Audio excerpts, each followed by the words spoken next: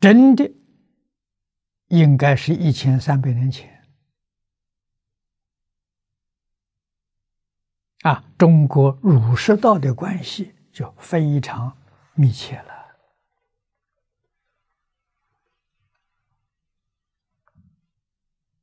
表面上有儒释道，实际上呢，儒释道已经圆融了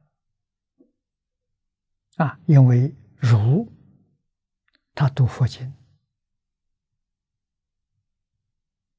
他也学道啊，儒道的经典他都学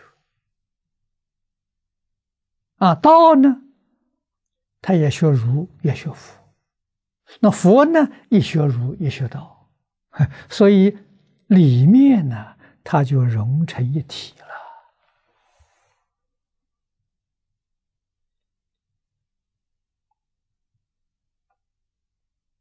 啊，这个事实我们要清楚。啊，所以中国传统文化已经成了一体。三教九流，这三教是儒释道，啊，三教九礼九流啊，变成一家了，这就是中华传统文化，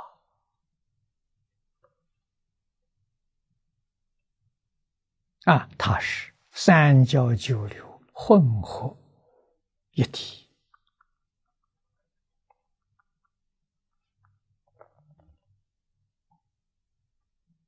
啊，那么到最近这一百五十年，中国的国力衰了，啊，外国人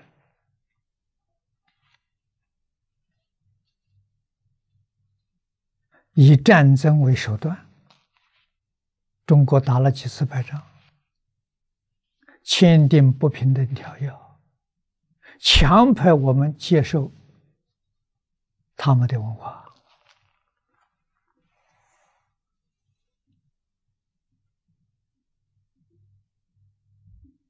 啊，我们受了这个影响，很不幸的，自己丧失了民族自尊心啊，民族的自信心丧失了，什么都是外国人好。啊，中国不如人，自己承认的。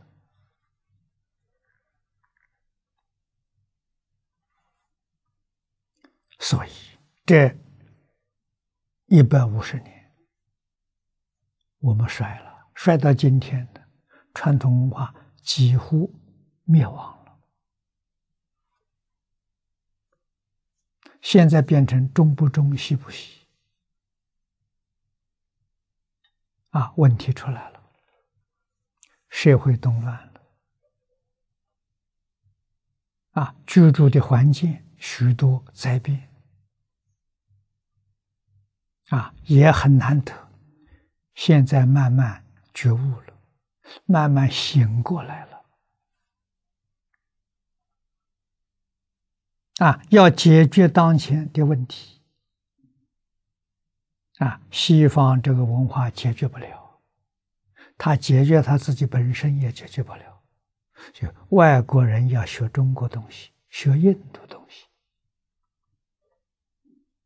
啊，现在非常认真去学习去找，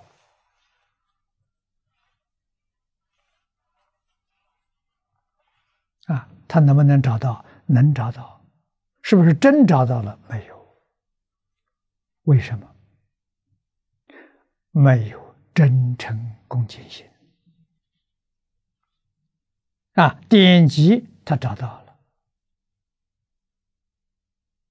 他不能欺辱啊！也就是《开经记》上所讲的“愿解如来真实义”，他们虽然得到了，他不解如来真实义。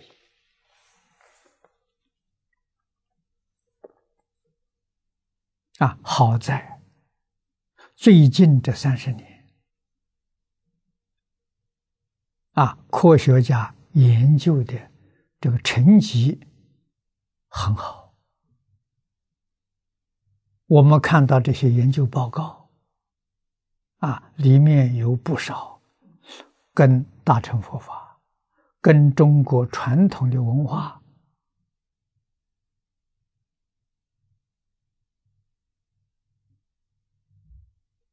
逐渐的